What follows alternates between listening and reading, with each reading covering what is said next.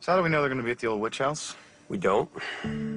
But if they're not, then we have about 10 minutes till Rebekah tears Elena apart. And if we sit this out, Esther completes her spell, Klaus dies, you get your revenge, is what you wanted the whole time. The only collateral damage is, Elena. you know what you'd choose.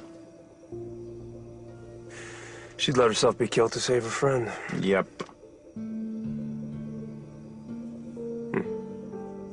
If we do this, it'll wreck her. Oh, she'll hate us. Thing is, she'll only hate one of us. Only one of us has to do the actual deed. Hmm. So, who's he gonna be, brother?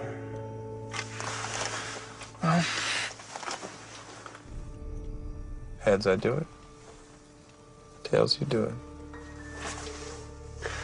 Awful lot of effort for someone who pretends not to care about her anymore. Pot kettle, brother.